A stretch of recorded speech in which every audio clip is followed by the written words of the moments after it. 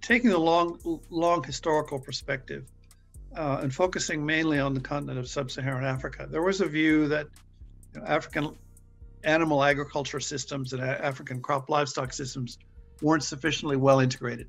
They didn't use machinery services from animals such as animal traction uh, or, or cartage. Uh, they didn't use manure for soil fertility. Uh, they didn't use animals for such tasks as plowing uh, and weeding, cultivation in general, uh, and that productivity of African agriculture could have been increased by introducing mechanization in the form of animal traction and by introducing integration of animals and crops on the same farm uh, under the rubric of what was broadly called mixed farming.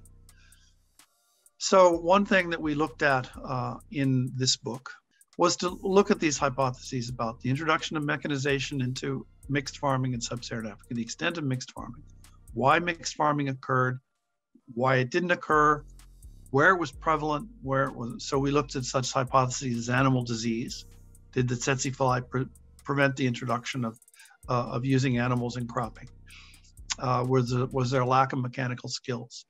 Uh, was animal traction or was cultivation with machines, either using animals or using diesel engines, uh, profitable or unprofitable? Were there environmental factors such as soil types and rainfall uh, population density and ac- access to markets that promoted or discouraged various forms uh, of mixed farming, mixed farming using animals, mixed farming using uh, engines such as tractors.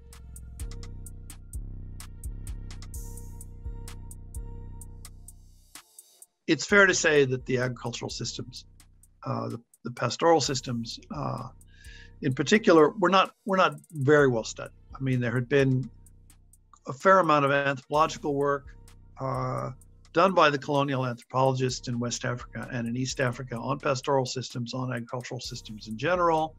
Uh, there was a good deal of work done on veterinary health aspects, done by the by the colonial vets, um, especially the French. Um, but as far as the basic ecology, you know, the soils, uh, the water management issues, the plant production issues, possibility of introducing exotic plants, this uh, the interactions between farming systems or cropping systems and livestock systems.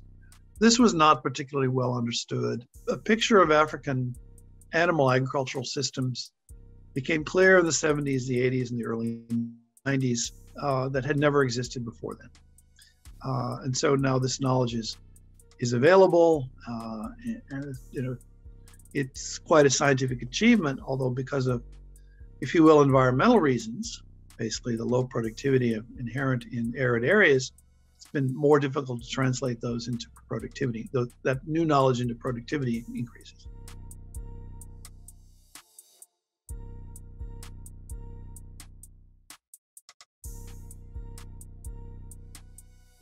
Well, uh, it gives you some idea of, first of all, what has been tried and what has uh, what has worked and what has not. I mean, there when when ILRAD was started in in the early 70s, it was thought that there would be a second generation ECF vaccine straight away. Remember, there was the old, there was the initial ECF vaccine that had been developed in Kenya uh, in in the 70s we thought there would be a second generation vaccine. Well, it's still been difficult to achieve. It was thought that within 10 years or so, there would be a tryps vaccine.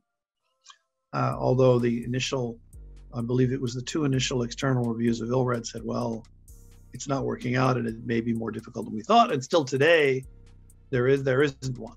But they were very significant. But despite these, I won't necessarily call them failures, let's despite these long gestation times, if you will, uh, there's been a lot of new knowledge on bovine immunology, as shown in the chapter by Sam Black and Cynthia Baldwin in the book, and it's shown in Sam Black's uh, chapter on the history of tryps research, also in the book. There's been a lot of applied knowledge on tryps control campaign. The tryps control campaigns have been exhaustively studied. The book, uh, for space reasons, doesn't do justice to all of them, but it discusses them uh, in one of Delia's chapters uh, on that. And so yet what can work, what's you know what's necessary for sustainability of tryps uh, control campaigns uh, in the absence uh, of a vaccine.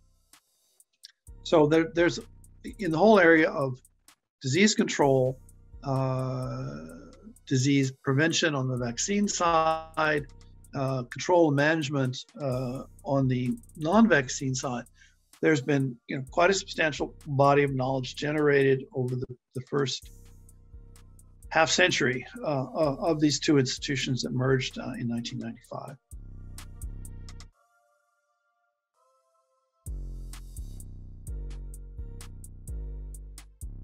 Agriculture is not macroeconomics.